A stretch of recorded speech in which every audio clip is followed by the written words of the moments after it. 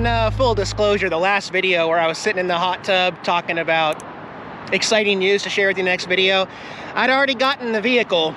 So um, I put on a few miles and uh, I've really been enjoying myself the last few days. Wait till the end of the video because I'm going to talk about some things, uh, kind of explain some of the really neat plans for the future and what's going to happen here on the channel and how I'm going to use my new vehicle.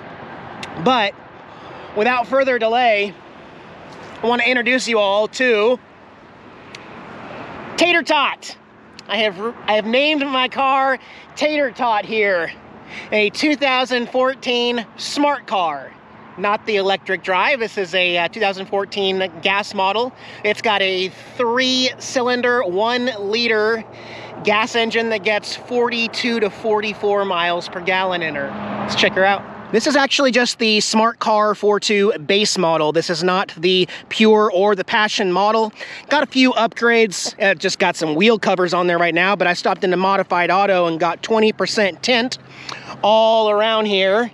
That looks awesome. Once we get inside, I'll show you some of the things. This is just a one owner car. I'm only the second owner of Tater Tot. And um, they got the base model and made some factory upgrades upon delivery. This thing is clean, y'all.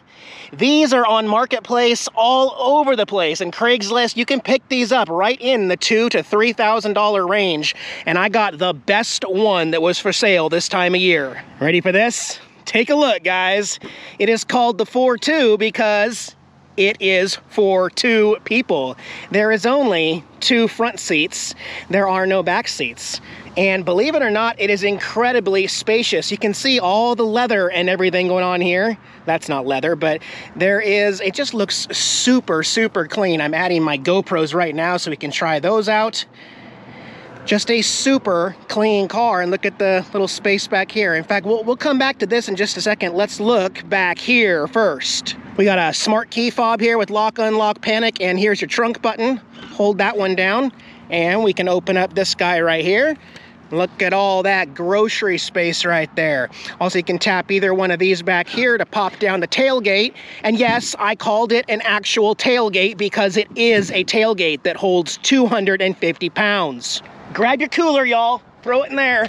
Sit down on your tailgate in your smart car and look at this beautiful view of the water. Just awesome, right? Another cool feature about the tailgate is that it's got a little hidden compartment of sorts. Fit beer or soda or jumper cables or whatever you need in there.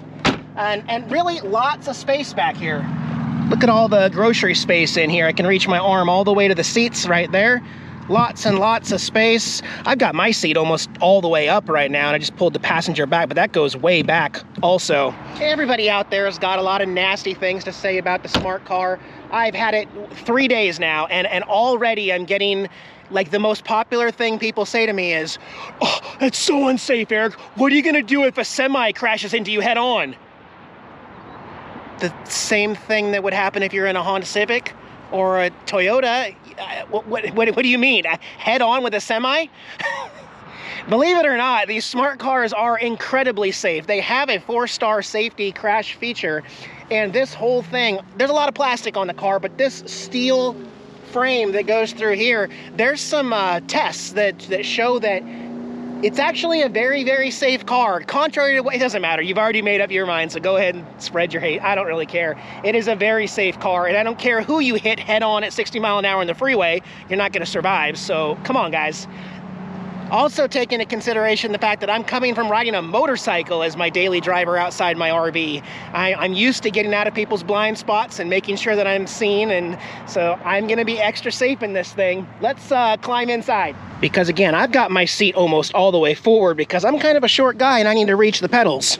Honestly, as long as you don't like look behind you, you know, just, just like this, it's like riding in a normal car, really. It feels like it. And this seat right here, hopefully Jax is going to be able to sit here and be happy on these short little RV trips that we take. Everything is really clean. There's a, a cloche dashboard up here. Here is the uh, smart key. And as you'll notice, there's nowhere to put it. One of the very few cars where you put the key right there. And there's your I guess we'll call it an automatic. Let's go ahead and start this guy up though. It's not really an automatic, it's a manual. Uh, go up here, see we got all our lights. Start it up like that. I know I'm not wearing my seatbelt. Turn the parking brake off. You can see there's no check engine lights or anything. We are, I don't know if you can read that, 19,947 miles. That's right, under 20,000 miles for a 2014 model. And there is some stuff that is certainly new for me. Air conditioning in a car, although I have it in the RV, there is air conditioning in this car. There is also heated seats driver and passenger heated seats. And Jax has already tested this out right there and he loves it. I have never had any vehicle with heated seats, so that's pretty cool. They have also upgraded the, the stereo here, so that's good that it's already got the dash kit in case I can put in what I want for navigation and everything. I got my magnetic post here. There's an open glove box there, and I'm just now uh, kind of testing out my, my angles here for the GoPro so I can vlog while I'm driving in the car here. I'm gonna turn the car back off here.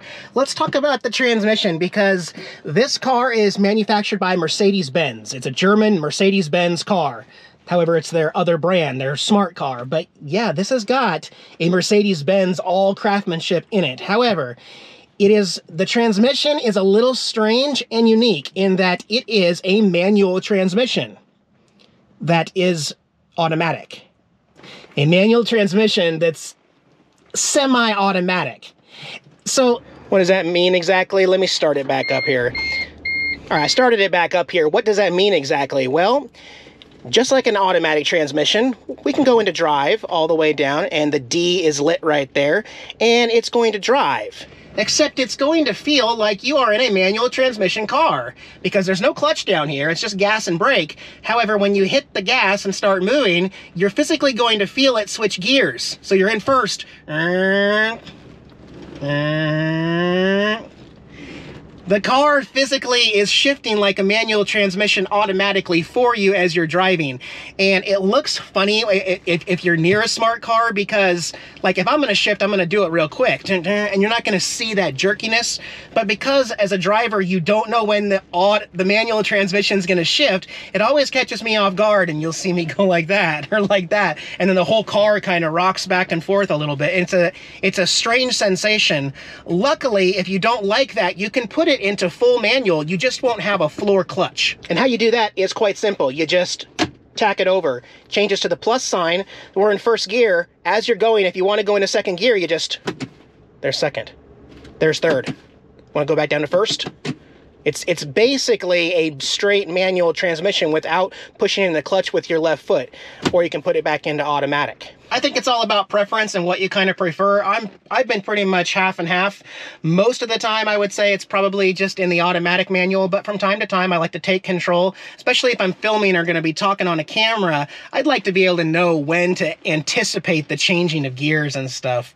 So far it is a great little car again for $3,000, I mean, you just can't beat that. And these cars get a ton of flack. I mean, everybody's got something funny or nasty or just something hateful to say about a smart car. And the thing is, I do not care anymore, guys. It is so, it's going to be so much better for me, okay? Complete cl climate control.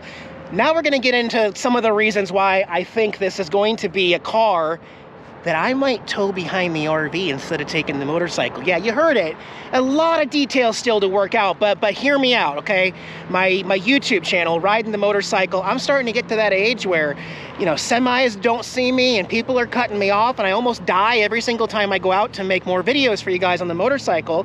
You know, it's constantly either raining or in the summertime it's 110 degrees, so it's really uncomfortable to take the motorcycle and everybody's complaining because I wear a t-shirt and shorts even though it's 100 degrees is, you know, and so I, I definitely feel that having a climate controlled vehicle where I can lock up my belongings, most importantly, bring Jax. And you guys know I'm going to. I'm going to bring Jax on these little out of the RV excursions around the country.